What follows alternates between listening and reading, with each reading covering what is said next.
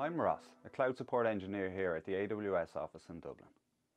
Sometimes customers ask me, how can I encrypt a snapshot of an unencrypted Amazon RDS database instance? I tell them that encrypting an unencrypted snapshot is a pretty straightforward process. Let me show you how to do this. After logging into the AWS Management Console, open the Amazon RDS console. And then choose snapshots from the navigation pane. Select the snapshot that you want to encrypt. Under Actions, choose Copy Snapshot. Choose your destination region and then enter your new DB snapshot identifier. Select Enable Encryption. Select your master key from the list. And then choose Copy Snapshot.